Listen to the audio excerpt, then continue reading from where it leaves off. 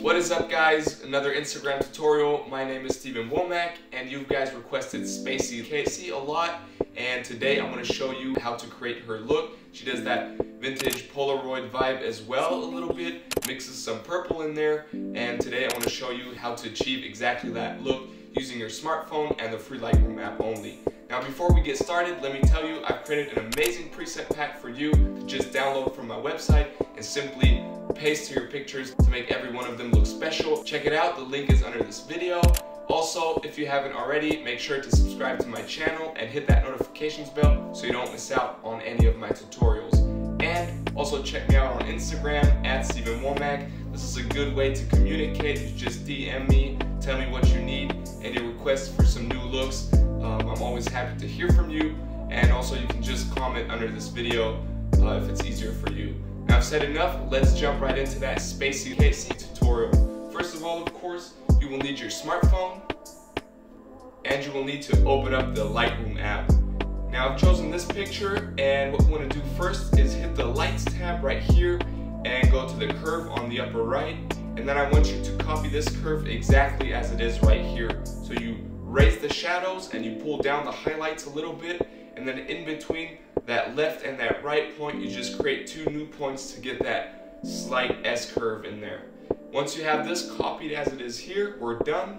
And now we want to toggle those light settings a little bit.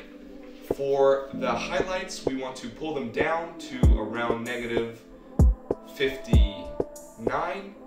The shadows, we want to boost up all the way to plus 53 and the whites we want to pull down to negative 16.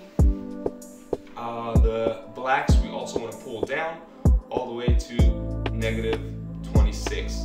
So we're done with the lights, we go over to the colors tab, and what you want to do here is raise the temperature a little bit to plus 10. The tint, we want to raise that as well. This is where that purple tone comes in to around plus 34. The saturation, we want to pull that down all the way to negative 36. Perfect. Now we're done here. We hit that color mix button on the upper right. And all we want to do is go to the orange tones and just boost the luminance a little bit to around plus 6 right there. And that's it. That's all we want to do with the colors here. So we're done. And we hit the effects tab on the bottom.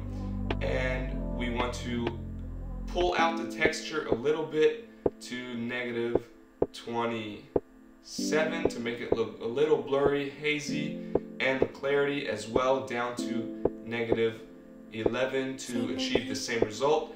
And now to bring back some black and crisp, we want to dehaze to plus 12 right there.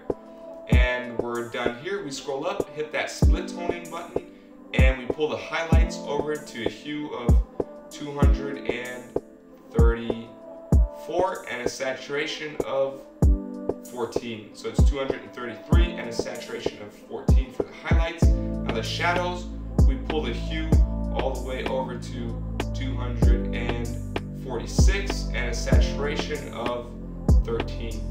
And we're done here. This is it. This is the look. Um, I think we really came close to that spacey Kacey look. Here's a before and after so you see what we did.